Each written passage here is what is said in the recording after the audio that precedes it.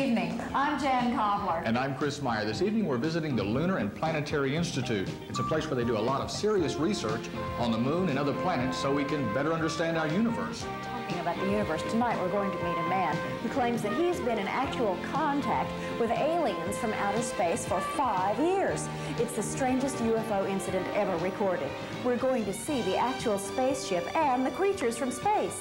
Then we're going to visit Texas A&M University and take a look at some professional glass blowers. In our department, Chef Tell shows kids how to cook hot dogs all by themselves. Our medical folklore expert looks into home remedies for hiccups, and Linda Harris continues her great escape to Nashville with a look at the exciting country music industry.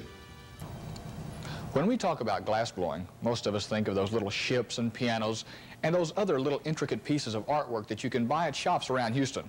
Well, tonight Jan takes us to Texas A&M University for a look at a different kind of glass blowing.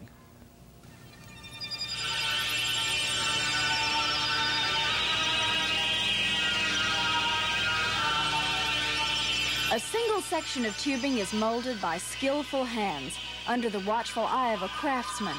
The cylindrical shape changes form in the bright flame and becomes a piece of art in the shape of a swan.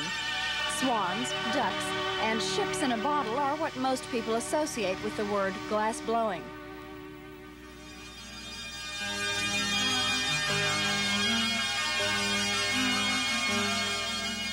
But this too is the product of glass blowing.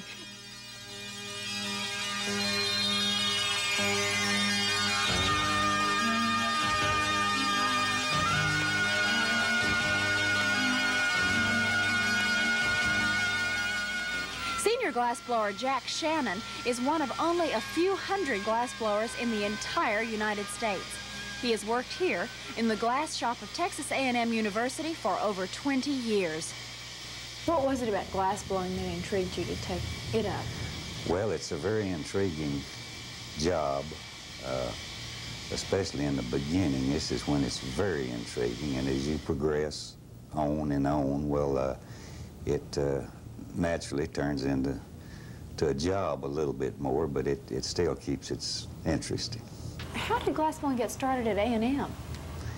Through their research program, they, uh, back in the uh, late 50s, or the middle 50s, excuse me, and uh, on up through the 60s and to date, well, uh, we have a vast research program going on here, and uh, our glass shop handles uh, all of the glass blowing desires for the campus.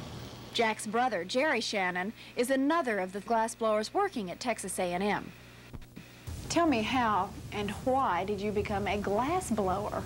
Well, I suppose it had something to do with my oldest brother being a glass blower at the time. So uh, I just kind of started to work under him as an apprentice 19 years ago. The newest member of the A&M glass shop is Bill Flanagan. He's been blowing glass for the past five years. What do you find the most satisfying thing about your work?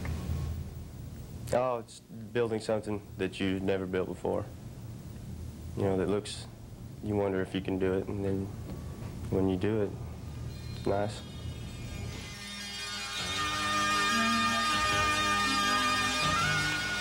We start out with glass tubing or glass joints or something of that nature, and if you heat the glass, it tends to sag because of gravity.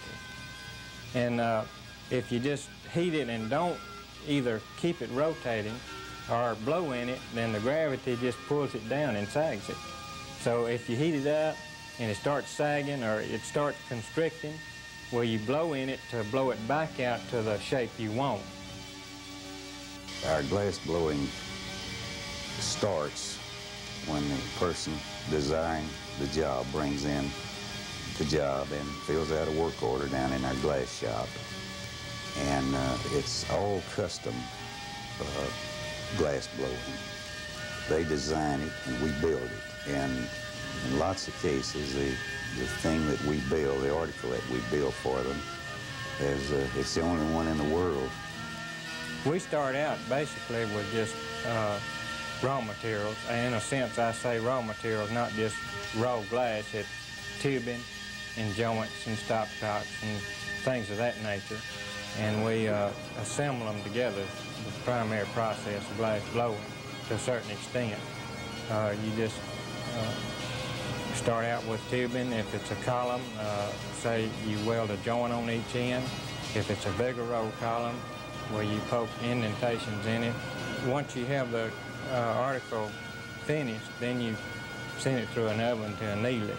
And this it takes the strain out of the glassware. I asked if he ever had problems with being burned by the hot glass. I think if when you work around fire, you get used to fire and it doesn't uh, burn you as bad, possibly. It may burn you as bad physically as anyone else, but mentally you get used to it to the point that it's not as hot possibly to us as it would be to someone else. If somebody wanted to take up glass blowing as a hobby, would you recommend it? Yes, I would, definitely. I I think it would be a very interesting hobby. It, uh, it's something that is not very expensive. You can get started in it for very little. A torch and a cylinder of oxygen and a regulator, and some glass. After some basic instruction, Jerry let me try the basic process of joining the glass tubes. You probably can't tell the tube that I made from the one that Jerry made. What's the most satisfying thing about your work? I think a feeling of accomplishment when you when you have a challenge and, and it, you perform it and it comes out to your expectations and the person's desiring it expectation. I think satisfaction comes from being able to do a job well and uh, to be proud of it, you know. Uh, it's, it's challenging to a certain degree, and there's always a challenge. I don't think that a glass blower ever quits learning. He's uh, always a bigger challenge somewhere ahead of him, you know, and, and that keeps the job interesting.